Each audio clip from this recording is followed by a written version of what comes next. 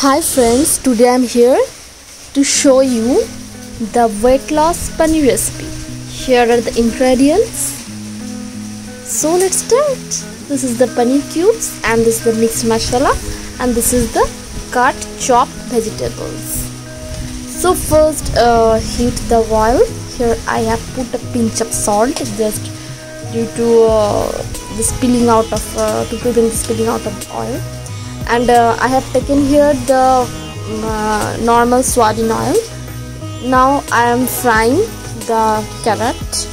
And I have cut it in a cylindrical shapes in a cylindrical sorry in a rectangular shapes. I have uh, cut it.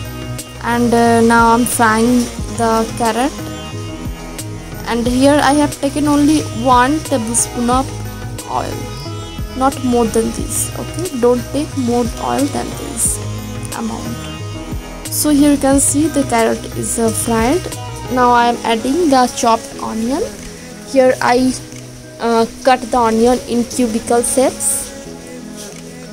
Then I am adding the garlic ginger and tomato.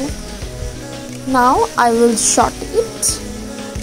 Then saute make the saute this is mainly the paneer saute. You can tell it also. But this is very much effective in weight loss. This is mainly a weight loss paneer recipe. Here you can find it from my video. Please do watch my video till the end. And uh, guys trust me from my experience i'm telling you that this recipe is uh, very good to eat with this lesser amount of oil don't use mustard oil here. Just use any type of vegetable oil. Here I have used soybean oil. You can use rice oil corn oil olive oil obvious no problem. So you can see that uh, the veggies are getting fried. It's almost fried. Not totally almost fried. Um, so you can see don't turn it red. Now i'm adding the green chili. One green chili i have added here. Now i'm cooking it. Yeah. So you are looking. This is going to be a yummy food. Now i have added the paneer cubes. I made it for one. So if you want to make it for two add double uh, amount of materials than of me. Now i'm cooking it with the paneer cubes.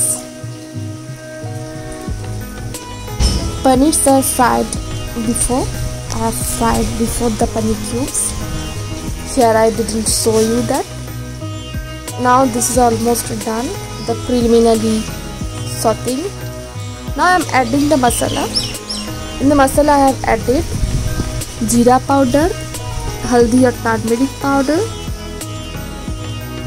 salt a pinch of salt and the mixed masala. I had roasted mixed masala chaat masala types that one with a, a little bit of soya sauce. And then uh, make it.